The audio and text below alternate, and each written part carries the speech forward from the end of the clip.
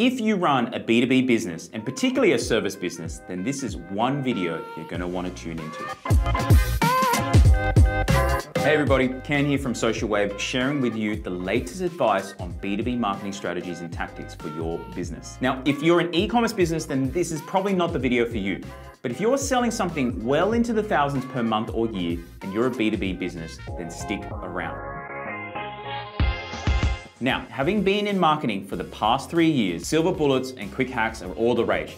Everyone loves fast, cheap, and easy. These marketers who would share with you how they ran a $200 ad campaign that got them $80,000 in new business or how this one email subject line led to $24,582 in purchases, or how this one quick copywriting trick resulted in $18,000 in new revenue. When I first got into marketing, I'd lap it all up. I'd jump from one quick hack to the next. I'd swipe all of these tactics and I'd try them, and guess what? None of them worked. Does that sound familiar? And you know why? Because they're so ridiculously out of context when they're shared. The ad campaign probably was off the back of a really dialed in retargeting campaign. The email subject line was probably for a list that was primed to buy anyway. And the copywriting trick was probably just one client paying $18,000 who they happened to get at the right place at the right time. It's not that these things don't work, it's just that they're not the only influencing factor. So in this video, I wanna share with you the only B2B marketing strategy you need and what's worked for my 40 clients.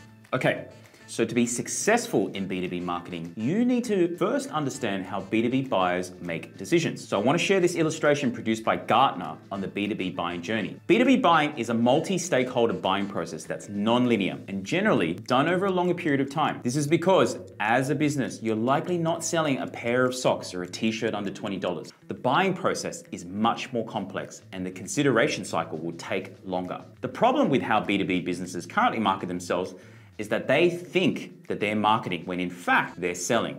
The analogy I've heard that best frames this is imagine if all Netflix did was create content about how awesome Netflix is. That's how 99% of B2B businesses market themselves. No one cares about the fact that you won some award. No one gives a damn about a new team member. Your target market, whether you like it or not, only cares about themselves and what you can do for them. Focus on educating and entertaining your prospects to build brand affinity and a relationship with them so that when they move from non-buy to buy mode, they'll come to you rather than Google or your competitors.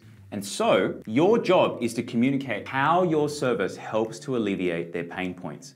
And we do that through content marketing. So here's the five step framework you need to know to begin creating the right content for your B2B marketing strategy.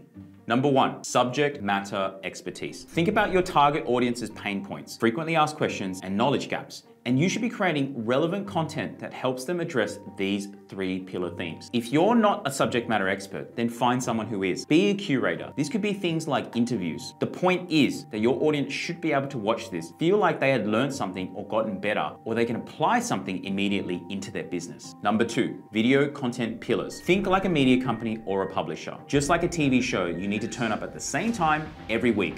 This can be a podcast or a long form video like this one up on YouTube. Find ways to create a sustainable and consistent content creation workflow that allows you to show up every week. Number three, repurpose your pillar video content. Once you have a good weekly cadence in play, you should be able to rip out the audio, turn it into a podcast. Find video snippets of less than 60 seconds to use on Facebook and LinkedIn. You can also turn these snippets into vertical videos to be used on TikTok, Instagram Reels, and YouTube Shorts. You could repurpose the information into graphic carousels on Instagram. You could transcribe it into show notes or an SEO article. You can share this in your EDM. The point is, from one original piece of content, you should be able to turn it into multiple mediums and formats to be used across all channels. Number four, amplification and distribution. Aim to publish as frequently as possible. Quantity leads to quality. You don't need to focus on every platform. Just get clear on where your ideal customer spends most of their time online. Also, understand how the algorithm works for these platforms. Publishing on YouTube isn't the same as Facebook or TikTok. Things like length of videos, do you do snippets, headlines, progress bars, subtitling, is it vertical, horizontal, how do you maximize attention and consumption? And number five, engage and listen. This is an area that B2B business owners are the worst at. It's not enough now just to publish. It's called social media, not media. So you need to socialize. This means responding to comments, engaging in other people's posts, sending messages, building relationships, just like you do when you go to networking events. So, where to begin? Your job in marketing your business is to teach help your prospects get better, entertain them, help them become more successful, all without a single shred of selling. If you're a plumber, teach people about DIY. If you're a mortgage broker, teach people about property investing. If you're a lawyer, teach people how to interpret legal issues to their benefit. Build up that affinity with them so that when they're ready to buy, they'll be coming to you instead of your competitors. All right, so hopefully you guys got some value out of that. If you did, leave your comments down below if you have any questions. Otherwise, like and subscribe, and I'll see you on the next video.